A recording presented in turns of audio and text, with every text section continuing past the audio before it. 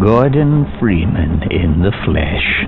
Or rather, in the hazard suit, I took the liberty of relieving you of your weapons. Most of them were government property. As for the suit, I think you've earned it. The border world, Xen, is in our control for the time being, thanks to you. Quite a nasty piece of work you managed over there. I am impressed.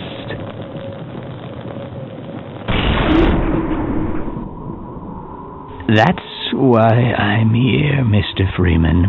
I have recommended your services to my uh, employers and they have authorized me to offer you a job. They agree with me that you have limitless potential.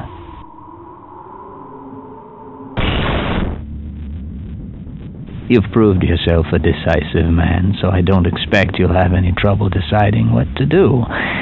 If you're interested, just step into the portal, and I will take that as a yes. Otherwise, well, I can offer you a battle you have no chance of winning. Rather an anticlimax after what you've just survived. Time to choose.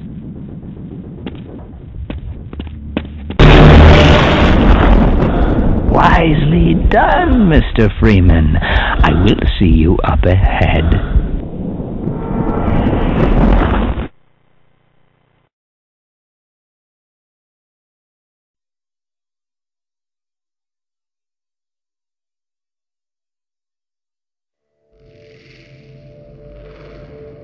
Rise and shine, Mr. Freeman. Rise and shine.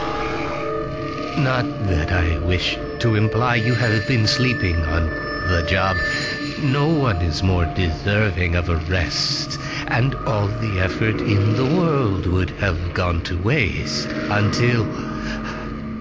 Well, let's just say your hour has come again.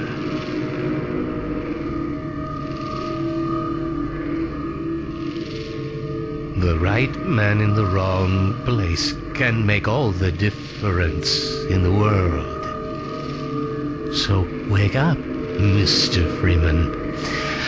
Wake up and smell the ashes.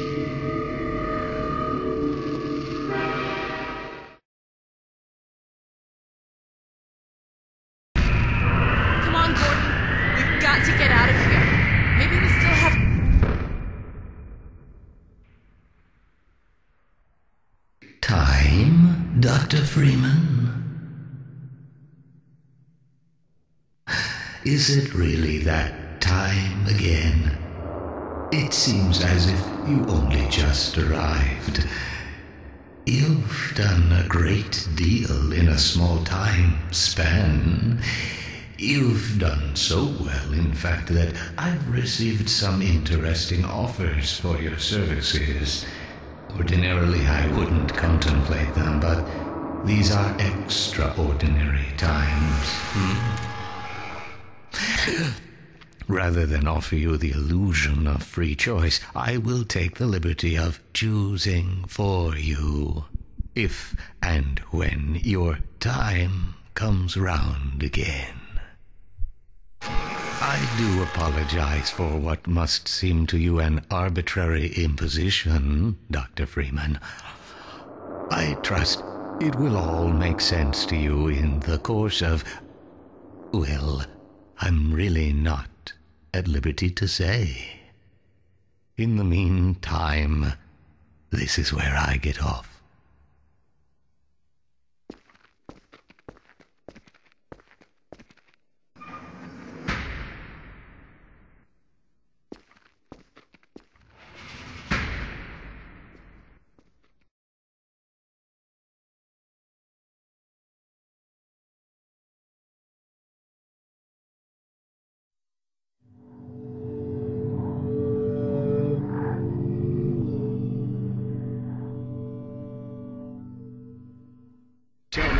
Freeman, if you can. You have destroyed so much. What is it exactly that you have created? Can you name even one thing? I thought not.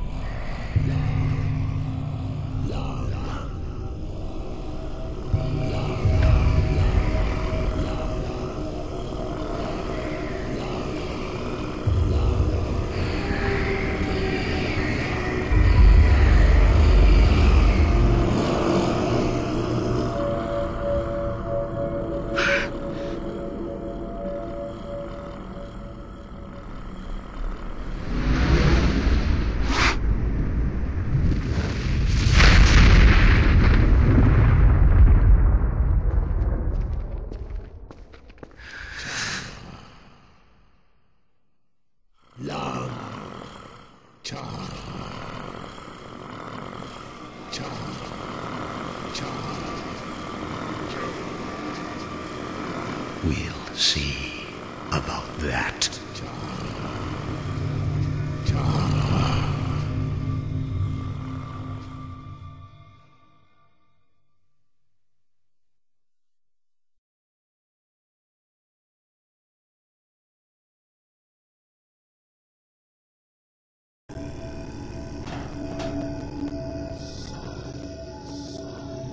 We weave the Freeman's life with.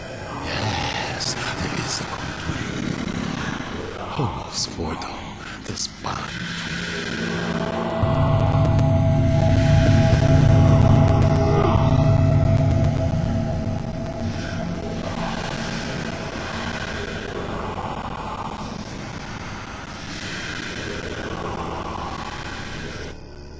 Dr. Freeman. I realize this moment may not be the most convenient for a heart to heart. But I had to wait until your friends were otherwise occupied. Hmm. There was a time they cared nothing for Miss Vance, when their only experience of humanity was a crowbar coming at them down a steel corridor. When I plucked her from Black Mesa, I acted in the face of objections that she was a mere child and of no practical use to anyone. I have learned to ignore such naysayers when quelling them hmm, was out of the question. Still, I am not one to squander my investments and I remain confident she was worth far more than the initial appraisal. That's why I must now extract from you some small repayment owed for your own survival. See her safely to White Forest, Dr. Freeman. I wish I could do more than keep an eye on you, but I have agreed to abide by certain restrictions. Hmm. Well, now listen carefully, my dear.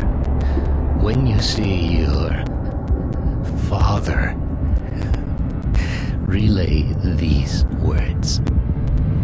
Prepare for unforeseen consequences.